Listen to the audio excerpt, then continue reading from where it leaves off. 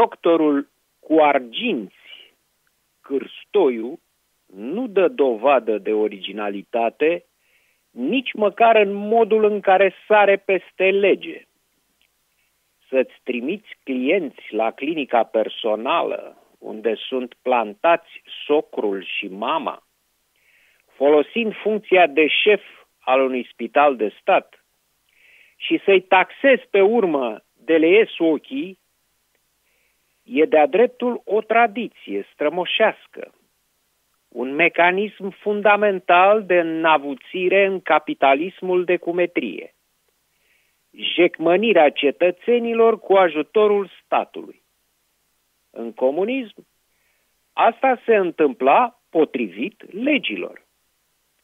În ce este acum la noi, se calcă legile într-o veselie, în același scop și cu rezultate mult mai lucrative.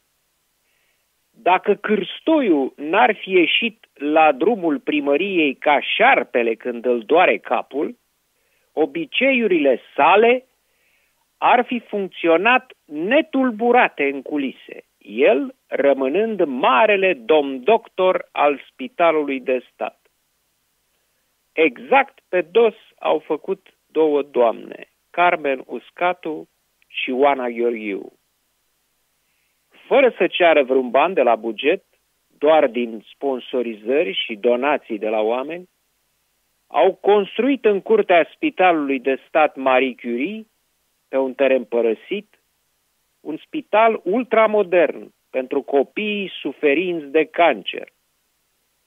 Deși terminat la cheie, nu s-a putut deschide vreme de săptămâni din pricina grijii ministrului sănătății de a pune bețe în roate până când se asigură că spitalul va fi înghițit cu totul de stat.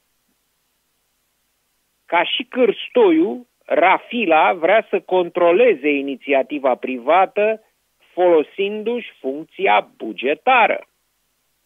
Cancerul care amenință acum dăruiește viață este medicina de stat. Mizerile ei, cârstoiul gen, pot să-l facă de nerecunoscut.